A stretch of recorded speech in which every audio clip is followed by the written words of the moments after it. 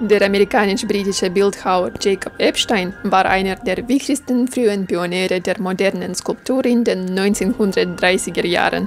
Eines seiner berühmtesten Werke ist das Grab von Oscar Wilde auf dem Friedhof Père Lachaise in Paris. Epstein schuf die Büsten prominenter wie George Bernard Shaw, Winston Churchill und Albert Einstein und war einer der Lieblingskünstler der High Society. Seine futuristischen und höchst kontroversen Werke wie Rock Drill gelten als revolutionär, obwohl sie damals keine besondere öffentliche Anerkennung erfuhren.